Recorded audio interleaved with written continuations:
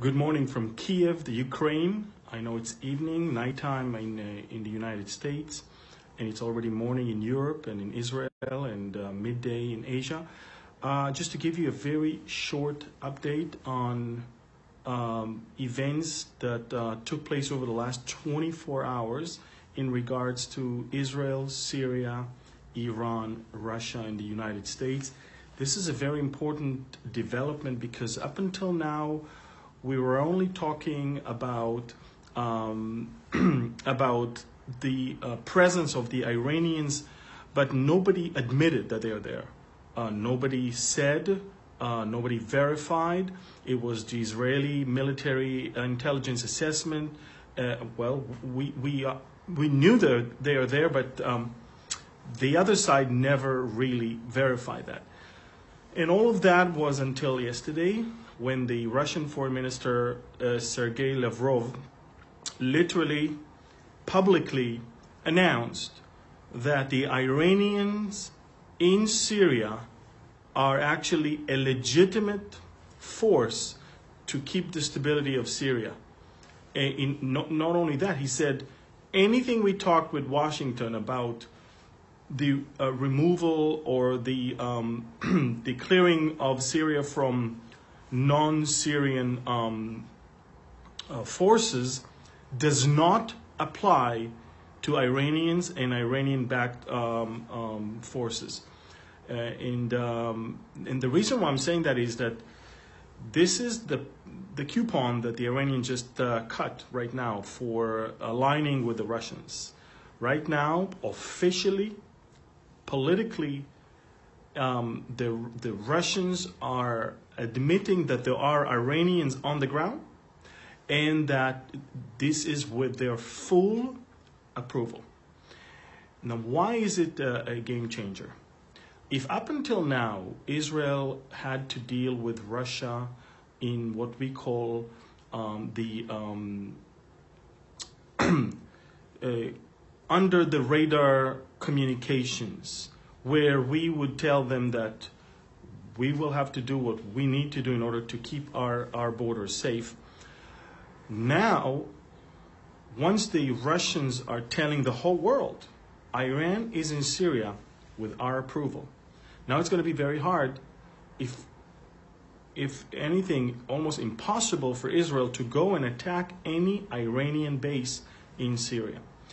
Prime Minister Netanyahu yesterday, in uh, a direct, uh, I guess, uh, uh, uh reaction to the Russian declaration, said Israel will do what Israel will um, have to do in order to take care of its security, even if it means that we're going to do it all by ourselves. Prime Minister Netanyahu is laying the foundations of a future forced conflict on Israel as a result of the Russian approval for the Iranians to be in Syria. Let me make it very clear, because I know that uh, a lot of people don't understand uh, what really is going on there. There is a civil war in, in Syria for the last six, seven years. More than almost, almost a million people died in this whole thing. And in the midst of all of that, Russia invaded in, Iran invaded in, Turkey invaded in, and Russia is now calling the shots in the whole region, telling the world that the Iranian Turkish collaboration is necessary with Russia, yeah, is necessary for the stability of Syria, and is now telling the whole world that Iranian presence in Syria is actually something that is with the full approval of the Kremlin. Now, why is it so important for Bible believing Christians? Watch this. Now it's no longer, uh, you know, maybe, could be, possibly. It's a fact. Russia and Turkey and Iran are on the ground. They're saying they're not going anywhere and they're challenging anyone who says that that's not a legitimate presence in Syria. And they're actually saying, the Russians are saying, if you guys come against Iran, you have business with us. This is amazing. Why is it so amazing? Because if tomorrow Israel will attack Damascus because of the Rush, the Iranian the accumulation of Iranian forces and weaponry, then we have business with Russia. If up until now the Russians turned blind eye and allowed us to do what we need to do, and by the way, the Russians they think Israel exaggerates when, when, with its worries from Iran. The Russians don't understand anything about the Iranian ideology. All the Russians see is dollar signs. They see a pos- an opportunity to finally enjoy the prize they, they've been looking for uh, for the whole seven years or the last three years they're there. The Russians understand now it's time to cash the check. Now it's time to enjoy, when, when it's getting more and more stable in Syria, we can enjoy now the gas and the oil and, and business with Iran and business. Now we're not going to let anyone share that prey with us. We're not going to let the Americans spoil the party. We're not going to let the Israelis do anything. We are just going to um, make, make it very clear we call the shots here. And so the Russians are basically um, going to most likely, if Israel will do anything, the Russians will intervene and possibly in the near future lead an assault on Israel. They're there. And all of that is to tell every Bible believer around the world we've never, ever in the history of planet Earth, never been so close to Ezekiel's war. Never, ever. And again, I'm not a prophet. I, I can't tell you, you know, when the rapture is going to take place, but I can tell you one thing.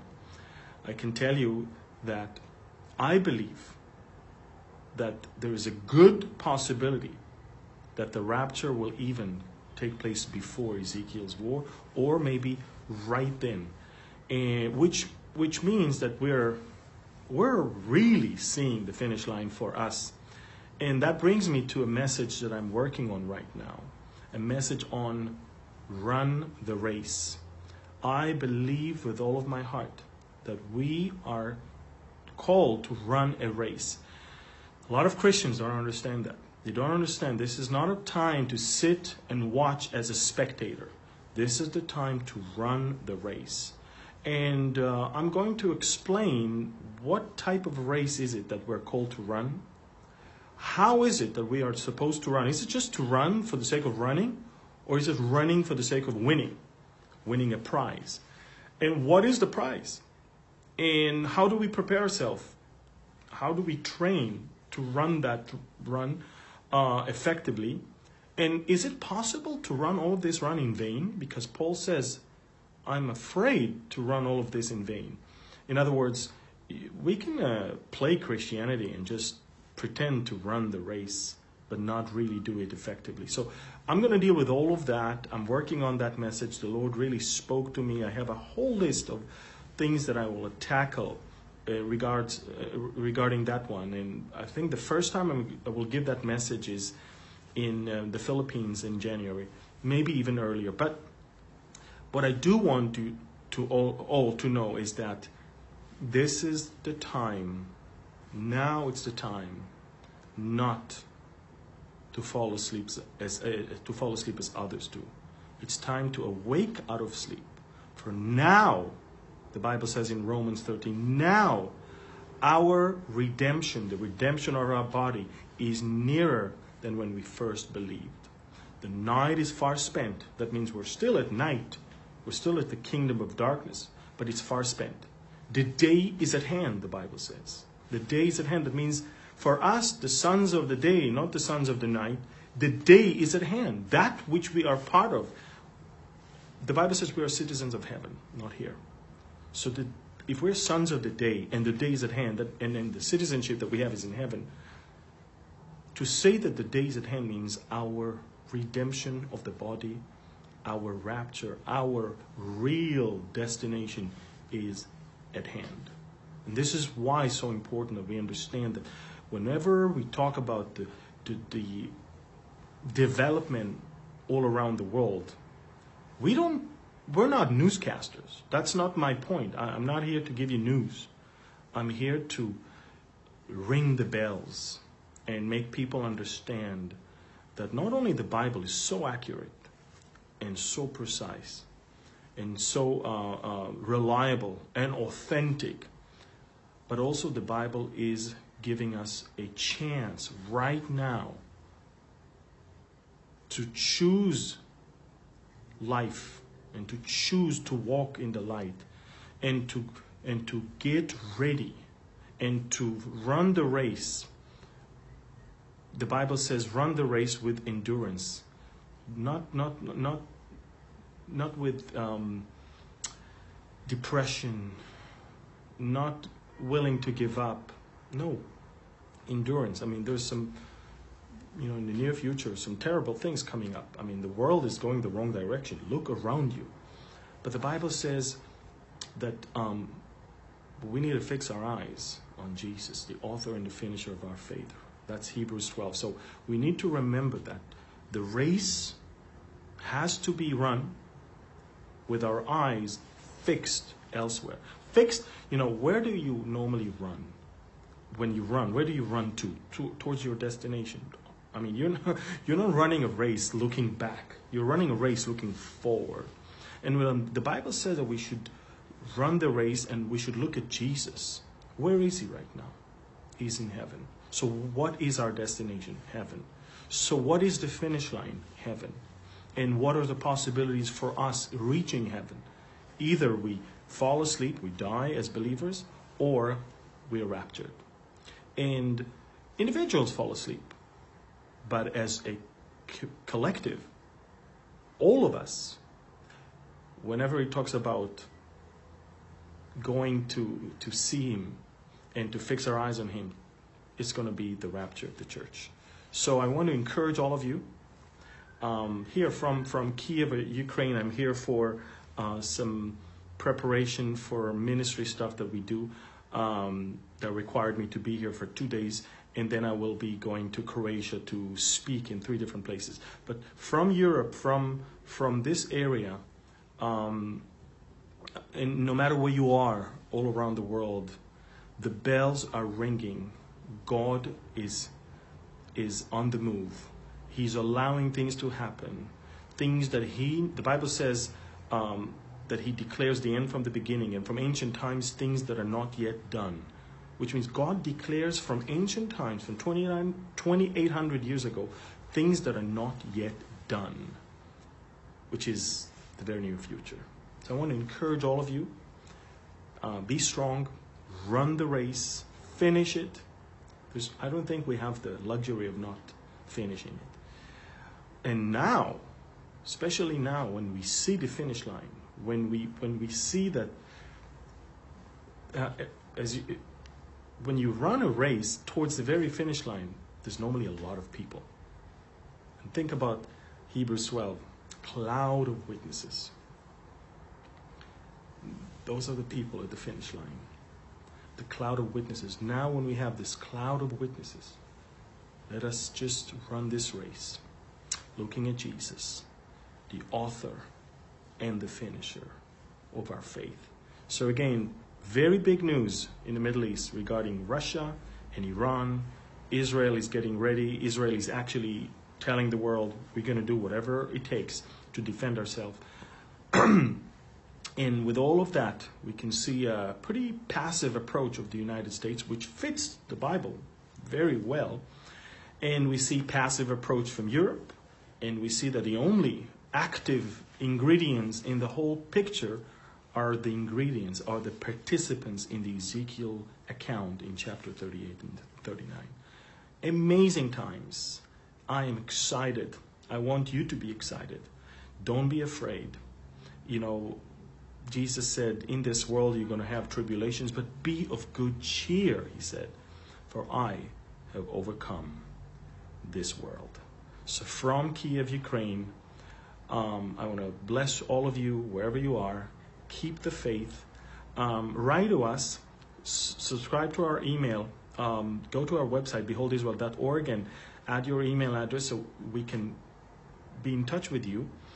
And um, thank you for more than 100,000 followers on Facebook.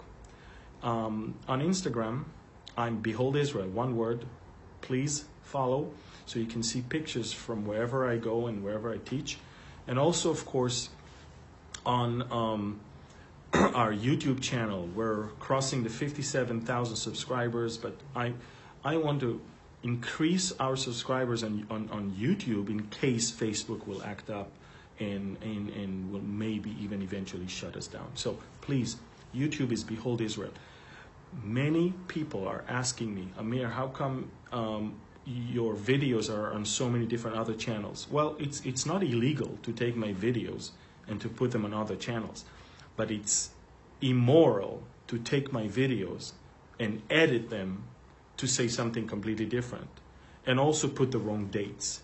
So if you want to stick to what I really say and the time I really say that, then don't watch any other channel but Behold Israel. This is the only Facebook, excuse me, YouTube channel that we have. That's the official YouTube channel. We have one in Japanese. We're opening right now one in, in Spanish. But Behold Israel, that's the channel you want to subscribe to. Thank you.